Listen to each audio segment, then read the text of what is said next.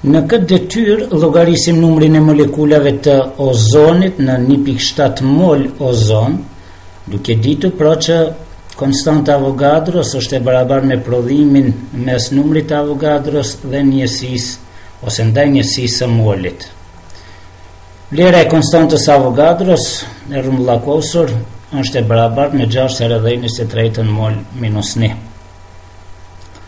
Dimë që sasia e substancës llogaritet me herësin në mes të numrit të atomeve ose molekulave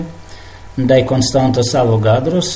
prej nga mund të nxjerrim vlerën për numrin e molekulave të ozonit që është e barabartë me prodhimin e numrit të moleve të ozonit dhe konstantës së Avogadros.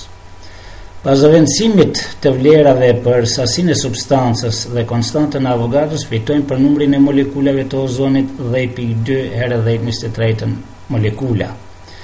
Duke ditur që molekula e ozonit përbëhet prej tre atomeve, atëherë duke shumëzuar vlerën 3 me numrin e molekulave, ne gjejmë numrin e atomeve të oksigjenit, në këtë numër të molekulave që është tridhjetë pikë gjashtë herë dhjetë në njëzet e tretën atome oksigjen.